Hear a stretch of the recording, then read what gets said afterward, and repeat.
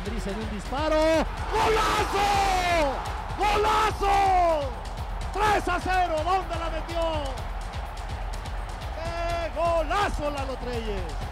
¿Y en qué momento llega este tercer gol?